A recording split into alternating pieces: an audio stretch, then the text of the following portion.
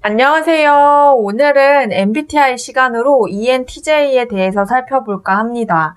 ENTJ는 동물에 비유했을 때 사자를 연상시킨다고 해요. 사자는 조직을 이끌고 다니잖아요. 항상 그룹으로 리더가 있고요. 그런 구조를 가지고 있는데 ENTJ 분들은 그런 무리를 이끄는 리더의 적격인 유형이라고 보시면 되겠습니다. 한마디로 표현하면 지휘관, 통솔자가 어울리는 키워드라고 해요. 아주 어려서부터 이분들은 시키지 않아도 어떤 작은 모임이든 큰 모임이든 리더를 도맡아 하는 거를 볼 수 있다고 해요.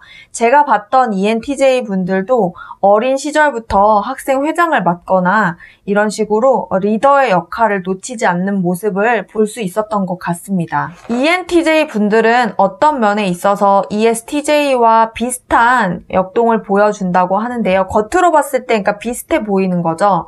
하지만 ESTJ 분들이 절차나 시스템 구축에 관심이 많은 반면에 ENTJ 분들은 목표, 최종 목표를 향해서 달려가는 모습이 차이점이라고 합니다.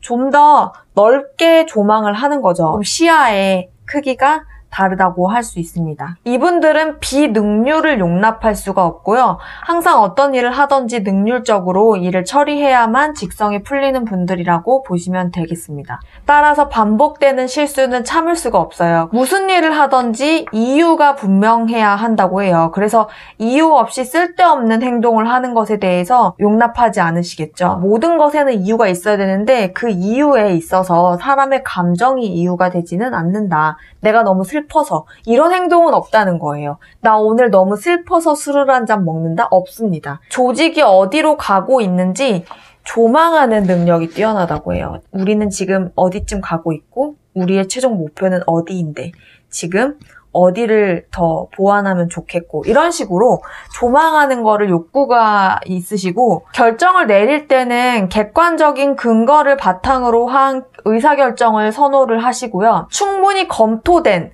운영 과정에 대해서 모든 사람들이 따라가기를 바란다고 해요. 그래서 갑자기 유들이 있게 뭔가 계획에서 벗어난 행동을 하는 거는 용납할 수 없다. 일에 대해서는 지칠 줄 모르는 헌신을 한다고 합니다. 그래서 퇴근하지 않는 유형의 사람들을 보면 ESTJ, ENTJ 분들이 아마 많이 있지 않을까라는 생각이 들고요. 일을 위해서라면 다른 것을 기꺼이 희생할 수 있다라는 엄청난 분들이신데 저는 INFP잖아요. 제 입장에서 봤을 때는 정말 이해할 수 없는 어, 부분인 것 같아요. 저는 일과 생활을 엄격하게 구분하는 사람이고 내 개인적인 사생활에 해당되는 부분에서는 일이 절대 침범하지 못하도록 하는 경향이 있는데 이들의 능력 중에 하나는 비능률, 비효율, 목적 없이 우왕좌왕하는 것을 과감히 끊어낼 수 있는 능력이 있고요. 필요하다면 직원을 기꺼이 해고시키 는 시키는 결단력도 있다고 합니다. ENTJ 분들, 분들이 가정에서는 어떤 모습을 보이냐면요. 일단은 집을 비우는 경우가 많으시대요. 업무적인 것이 더 중요한 우선순위가 되기 때문에 어, 남자, 여자 가릴 것 없이 배우자에게 많은 것을 요구한다라고 해요.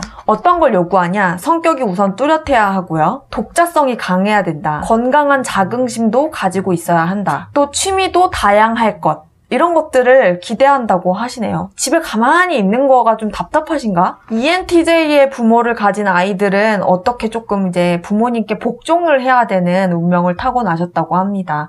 부모님이 아이들에게도 이제 바라는 부분이 있기 때문에 그 아이들에게 모든 거를 지원을 해주고 목표를 정해주고 이런 식으로 흘러가게끔 제시를 해줬을 때 좀 복종을 해주는 아이들이 있어야 가정이 평화롭다고 하고요. 만약에 복종하지 않고 반항 하는 자식이 태어났다.